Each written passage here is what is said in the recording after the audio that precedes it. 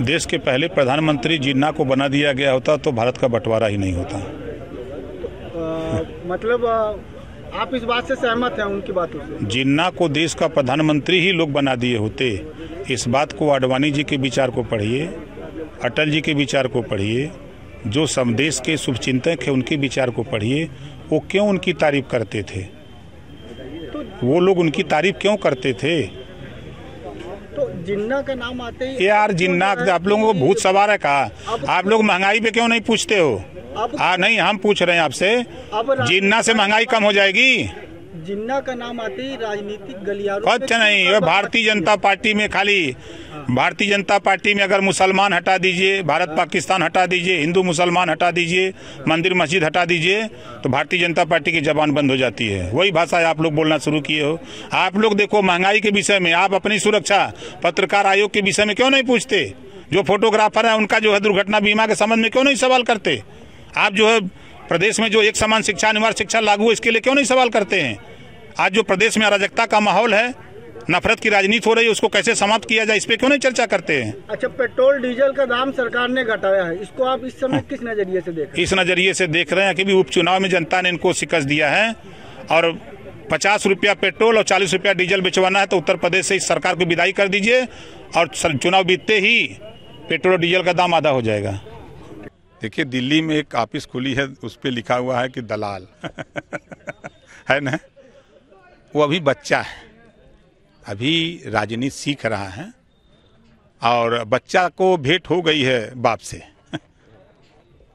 ठीक है भेंट हो गई है बाप से।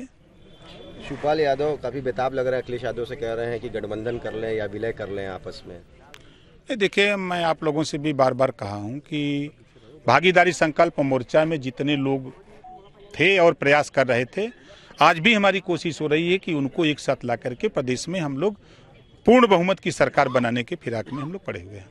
रहे हैं। कोशिश हो रही है। जो लोग भारतीय जनता पार्टी को हराना चाहते हैं वो सौ सीट का सपना छोड़ दें। वो दस सीट पे लड़के दस जीत लें सौ लड़के को न जीतें उसे क्या मतलब है?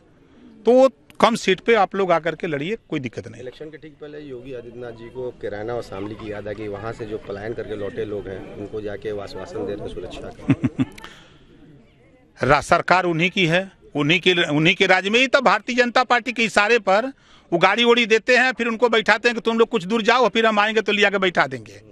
ये डरामा पार्टी है। भारतीय जनता पार्टी डरामा करती है। नेताजी बसपा में उत्तराधिकारी की खोज हो रही है। आप भी तो पहले बसपा में थे। मायावती का उत्तराधिकारी खोजा जा रहा है अब। ये मायावती जी बता सकती हैं। हम अपनी पार्टी के विषय में हमको पूछिए हमसे गठबंधन के विषय में पूछिए नीतियों को तो हम बताएँगे। कानपुर में आज लोकल ट्रेन का ट्रायल रन भी है।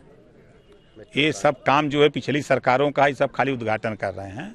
पूरा नहीं होगा देख लीजिएगा ना अभी एक तो पूर्वांचल एक्सप्रेसवे का उद्घाटन सुन रहे होने वाला है। अभी मैं परसों नरसों उधर से आ रहा था तो अभी तो आधा काम में बाकी है। न सर्विस लेन बनी सड़क बनी है न कहीं बैरिकेटिंग वाला जो खम्मा लगा है न कहीं कुछ है।